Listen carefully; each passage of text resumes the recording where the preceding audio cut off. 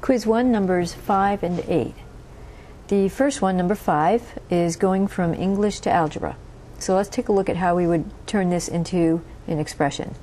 The product of 9 and 7 less than a number. Well, product is going to mean multiply.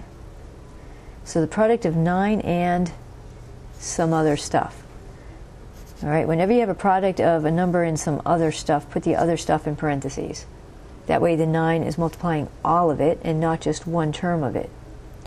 So then we got to figure out, well, what's this other stuff? It's 7 less than a number.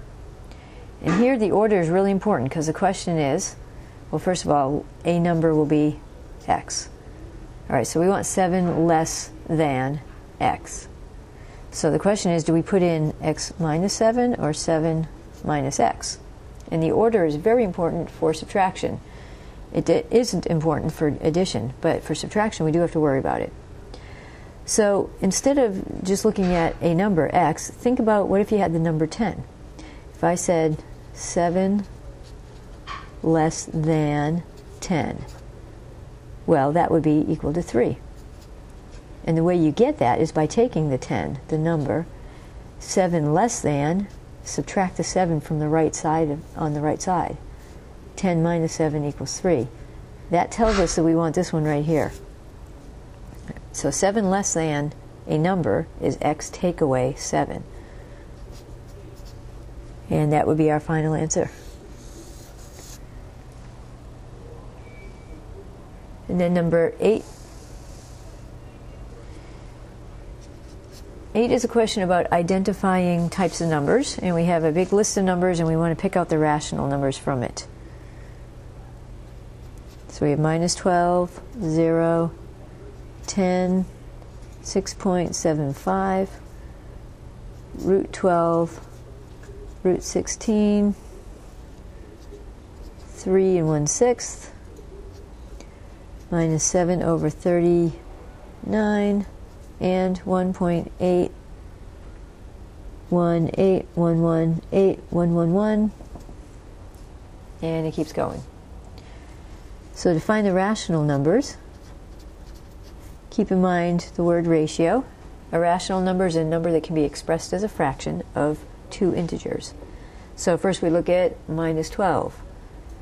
And minus 12 could be expressed as minus 12 over 1. So yes, it's a rational number. So let's list all the ones that are rational numbers here to the right. 0. 0 could be written as 0 over 1.